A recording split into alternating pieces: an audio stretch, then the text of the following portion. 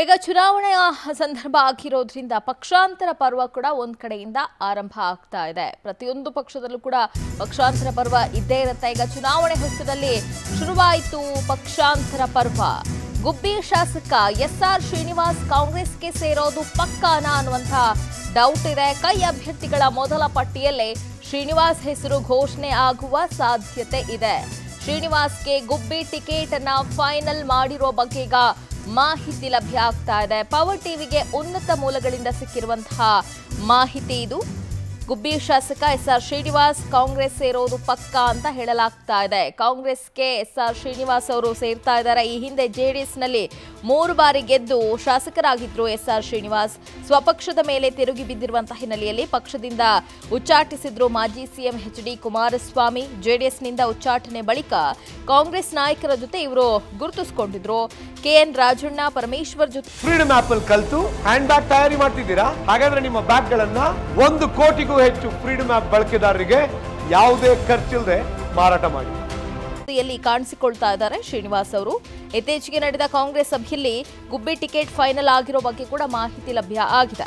ಈಗಾಗಲೇ S R Srinivas ಹೆಸರು high command ತಲುಪಿರುವ ಬಗ್ಗೆಯೂ ಕೂಡ ಮಾಹಿತಿ ಇದೆ. ಗುಬ್ಬಿ ಕಾಂಗ್ರೆಸ್ನಲ್ಲಿ ಅಸಮಾಧಾನದ ಬೆನ್ನಲ್ಲೂ ಟಿಕೆಟ್ ಘೋಷಣೆ ಆಗುವ ಸಾಧ್ಯತೆ ಇದೆ ಅಂತ ಹೇಳಲಾಗ್ತಾ ಇದೆ. ಕ್ಷೇತ್ರದಲ್ಲಿನ ಅಸಮಾಧಾನವನ್ನ ಶಮನಗೊಳಿಸುವುದಕ್ಕೆ ರಾಜ್ಯ ನಾಯಕರು ಎಂಟ್ರಿ ಆಗುವ ಸಾಧ್ಯತೆ ಇದೆ. ಜೆಡಿಎಸ್ನಲ್ಲಿ ಮೂರು ಬಾರಿ ಗೆದ್ದು ಶಾಸಕರಾಗಿದ್ದಂಥ ಎಸ್ಆರ್ ಶ್ರೀನಿವಾಸ್ ಅವರು ಈಗ ಸ್ವಪಕ್ಷದಿಂದ ತಿರುಗಿ ಬಿದ್ದಿರುವಂತಹ ಹಿನ್ನೆಲೆಯಲ್ಲಿ ಅವರನ್ನ ಉಚ್ಚಾಟಿಸಲಾಗಿತ್ತು. ಈಗ ಅವರು ಕಾಂಗ್ರೆಸ್ಗೆ ಸೇರೋದು ಪಕ್ಕ ಅಂತ ಹೇಳಲಾಗ್ತಾ ಇದೆ. ಪವರ್ ಟಿವಿಗೆ ಉನ್ನತ ಮೂಲಗಳಿಂದ ಸಿಕ್ಕಿರುವಂತಹ ಮಾಹಿತಿ ಇದು. ಇನ್ನು ಗುಬ್ಬಿ ಕ್ಷೇತ್ರದಲ್ಲಿ ಟಿಕೆಟ್ನ ಗೊಂದಲ ಇದೆ. ಆ ಗೊಂದಲದ ನಡುವೆಯೂ ಕೂಡ ಈಗ ಕಾಂಗ್ರೆಸ್ ಅಲ್ಲಿ ಟಿಕೆಟ್ ಅನ್ನ ಘೋಷಣೆ ಮಾಡುವ ಸಾಧ್ಯತೆ ಇದೆ. ಈ ಬಗ್ಗೆ ಮತ್ತಷ್ಟು ಡೀಟೇಲ್ಸ್ ಕೊಡ್ತಾರೆ ನಮ್ಮ ಪ್ರತಿನಿಧಿ ಹೇಮಂತ್ ನೇರವಾಗಿ ಜಾಯ್ನ್ ಆಗ್ತಾ ಇದ್ದಾರೆ.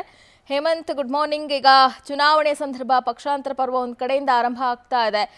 ಗುಬ್ಬಿ ಕ್ಷೇತ್ರದಲ್ಲಿ ಟಿಕೆಟ್ ಗೊಂದಲದ ನಡುವೆಯೂ ಕೂಡ ಶ್ರೀನಿವಾಸ್ ಅವರ ಹೆಸರು ಘೋಷಣೆ ಆಗುತ್ತೆ ಅಂತ ಹೇಳಲಾಗ್ತಾ ಇದೆ.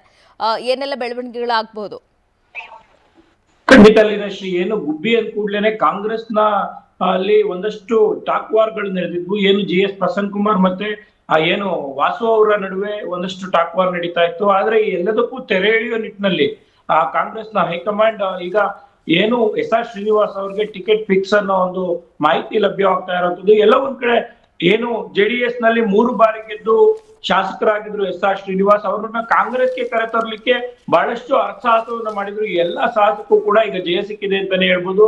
ಮತ್ತೊಂದ್ ಕಡೆಯಲ್ಲಿ ಏನು ಎಸ್ ಆರ್ ಶ್ರೀನಿವಾಸ್ ಅವ್ರನ್ನ ಕಾಂಗ್ರೆಸ್ಗೆ ಕರೆತಂದು ಅವ್ರಿಗೆ ಟಿಕೆಟ್ ನೀಡಬೇಕು ಅಂತ ಹೇಳಿ ಜಿಲ್ಲೆಯ ಹಲವು ನಾಯಕರುಗಳು ಇದರ ಹೋರಾಟವನ್ನ ಮಾಡ್ತಾ ಇದ್ರು. ಆದ್ರೆ ಆ, ಇವರೆಗೂ ಕೂಡ ಏನು ಎಸ್ ಆರ್ ಶ್ರೀನಿವಾಸ್ ಅವರು ನಾನು ಕಾಂಗ್ರೆಸ್ಗೆ ಸೇರ್ತೇನೆ ಅನ್ನೋ ಒಂದು ಮಾತನ್ನ ಹೇಳ್ದಲೇ ಹೋದ್ರು ಕೂಡ ಕಾಂಗ್ರೆಸ್ನ ಎಲ್ಲಾ ನಾಯಕರ ಜೊತೆ ಗುರುತಿಸ್ಕೊಳ್ಳುವಂತ ಕೆಲಸವನ್ನು ಕೂಡ ಮಾಡಿದ್ರು. ಆದ್ರೆ ರಾಹುಲ್ ಗಾಂಧಿ ಅವರ ಜೊತೆ ಏನು ಕರೆದಿದ್ರು ಅನ್ನೋ ಒಂದು ಕಾರಣಕ್ಕೆ ಭಾರತ್ ಜೋಡೋ ಯಾತ್ರೆಯಲ್ಲಿ ಪಾಲ್ಗೊಂಡಿದ್ರು, ರಾಹುಲ್ ಗಾಂಧಿ ಅವ್ರ ಜೊತೆ ಕೂಡ ಕಾಣಿಸ್ಕೊಂಡಿದ್ರು. ಇದಾದ ಬಳಿಕ ಏನು ಕೆ ಎನ್ ರಾಜಣ್ಣನವರು ಡಾಕ್ಟರ್ ಜಿ ಪರಮೇಶ್ವರ್ ಅವರ ಯಾವುದೇ ಸಭೆಗಳಲ್ಲಿ ಎಸ್ ಆರ್ ಶ್ರೀನಿವಾಸ್ ಕಾಣಿಸ್ಕೊಳ್ತಾ ಇದ್ರು. ಆ ಒಂದು ನಿಟ್ಟಿನಲ್ಲಿ ಏನು ಇತ್ತೀಚೆಗೆ ನಡೆದಂತ ಕಾಂಗ್ರೆಸ್ನ ಟಿಕೆಟ್ ವಿಚಾರದ ಒಂದು ಸಭೆಯಲ್ಲಿ ಏನು ಎಸ್ ಆರ್ ಶ್ರೀನಿವಾಸ್ ಅವರ ಟಿಕೆ ಹೆಸರು ಫೈನಲ್ ಆಗಿದೆ ಗುಬ್ಬಿ ವಿಧಾನಸಭಾ ಕ್ಷೇತ್ರಕ್ಕೆ ಅನ್ನೋ ಒಂದು ಮಾಹಿತಿ ಲಭ್ಯವಾಗ್ತಾ ಇರುವಂತದ್ದು.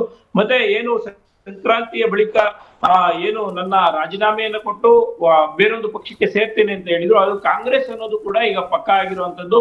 ಮತ್ತೆ ಏನು ತುಮಕೂರು ಜಿಲ್ಲೆಯ ಹಿರಿಯ ನಾಯಕರಿದ್ರು, ಆ, ಡಾಕ್ಟರ್ ಜಿ ಪರಮೇಶ್ವರ್ ಇರ್ಬೋದು, ಕೆ ಎನ್ ರಾಜಣ್ಣ ಇರ್ಬೋದು, ಷಡಾಕ್ಷರಿ ಇರ್ಬೋದು, ಶಿರಾದ ಜಯಚಂದ್ರ ಅವರು ಇರ್ಬೋದು, ಮತ್ತೆ ಇವರೆಲ್ಲರಿಗೂ ಕೂಡ ಕಾಂಗ್ರೆಸ್ನಲ್ಲಿ ಟಿಕೆಟ್ ಪಕ್ಕ ಅನ್ನೋ ಒಂದು ಮಾಹಿತಿ ಲಭ್ಯವಾಗಿರುವಂತದ್ದು. ಯಾಕಂತಂದ್ರೆ ಏನು ಈ ಎಲ್ರಿಗೂ ಕೂಡ ಈ ಬಾರಿಯ ಚುನಾವಣೆ, ಕಡೆಯ ಚುನಾವಣೆ ಆಗಿರೋದ್ರಿಂದಾಗಿ ಇವರೆಲ್ರಿಗೂ ಕೂಡ ಟಿಕೆಟ್ ಈ ಬಾರಿ ಫಿಕ್ಸ್ ಅನ್ನೋ ಒಂದು ಮಾಹಿತಿ ಲಭ್ಯವಾಗ್ತಿರೋದು ಮತ್ತೊಂದು ವಿಚಾರ ಅಂತಂದ್ರೆ ಏನು ತುರುವೇಕೆರೆ ಬೆಮೇಲ್ ಕಾಂತರಾಜು ಇದ್ದಾರೆ, ಅವರಿಗೂ ಕೂಡ ಟಿಕೆಟ್ನ ಫಿಕ್ಸ್ ಆಗಿದೆ ಅನ್ನೋ ಒಂದು ಮಾಹಿತಿ ಲಭ್ಯವಾಗ್ತಾ ಇರುತ್ತೆ ಯಾಕಂದ್ರೆ ಶಿರಾದಲ್ಲಿ ನಾವು ನೋಡಿದಂತೆ ಸಾಸಲು ಸತೀಶ್ ಅವರು ಇದ್ರು ಸಾಸಲು ಸತೀಶ್ ಅವರು ಏನು ಜಯಚಂದ್ರ ಅವರ ವಿರುದ್ಧ ನನಗೆ ಟಿಕೆಟ್ ಬೇಕು ಅಂತ ಹೇಳಿ ಕೇಳ್ತಾ ಇದ್ರು. ಆದ್ರೆ ಅದಕ್ಕೆ ತೆರೆ ಎಳೆದು ಈಗ ಜಯಚಂದ್ರ ಅವರಿಗೆ ಟಿಕೆಟ್ ಅನ್ನು ನೀಡಿರುವಂತದ್ದು. ಮತ್ತೆ ಮಧುಗಿರಿಯಲ್ಲಿ ಕೊಂಡವಾಡಿ ಚಂದ್ರಶೇಖರ್ ಅವರಿದ್ರು ಅವ್ರಿಗೆ ತೆರೆ ಎಳೆದು ಕೆ ಎನ್ ರಾಜನ್ ಅವರಿಗೆ ಟಿಕೆಟ್ ಫಿಕ್ಸ್ ಅನ್ನೋ ಒಂದು ಮಾಹಿತಿ ಲಭ್ಯವಾಗ್ತಾ ಇರುವಂತದ್ದು ಅದೇ ರೀತಿಯಾಗಿ ಗುಬ್ಬಿಯಲ್ಲಿ ಜಿ ಎಸ್ ಪ್ರಸನ್ನ ಕುಮಾರ್ ವಂಗಿರಿಗೌಡ ಅವರು ಕೂಡ ಟಿಕೆಟ್ ಅನ್ನ ಕೇಳ್ತಾ ಇದ್ರು. ಆದ್ರೆ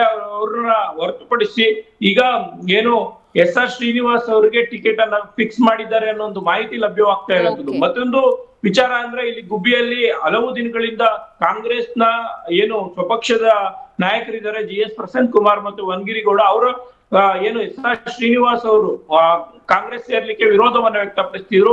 ಈ ಒಂದು ಹಿನ್ನೆಲೆಯಲ್ಲಿ ಏನು ರಾಜ್ಯ ನಾಯಕರು ಗುಬ್ಬಿಗೆ ಬರ್ತಾರೆ. ಗುಬ್ಬಿಗೆ ಬಂದು ಅವರ ಏನು ಆಕ್ರೋಶ ಇದೆ, ಅದನ್ನ ತಣ್ಣಗಾಗಿಸಿ. ಆ ನಂತರ ಅಷ್ಟೇ ಏನು ಗುಬ್ಬಿಯ ಟಿಕೆಟ್ ಅನ್ನ ಫೈನಲ್ ಮಾಡ್ತಾರೆ ಅನ್ನೋ ಒಂದು ಮಾಹಿತಿ ಕೂಡ ಲಭ್ಯವಾಗಿರುವಂತದ್ದು Leelashree. Thank you Hemanth freedom app ಅಲ್ಲಿ ಕಲ್ತು ಹ್ಯಾಂಡ್ ಬ್ಯಾಗ್ ತಯಾರಿ ಮಾಡ್ತಿದ್ದೀರಾ? ಹಾಗಾದ್ರೆ ನಿಮ್ಮ ಬ್ಯಾಗ್ ಗಳನ್ನ ಒಂದು ಕೋಟಿಗೂ ಹೆಚ್ಚು ಫ್ರೀಡಮ್ ಆಪ್ ಬಳಕೆದಾರರಿಗೆ ಯಾವುದೇ ಖರ್ಚಿಲ್ಲದೆ ಮಾರಾಟ ಮಾಡಿ.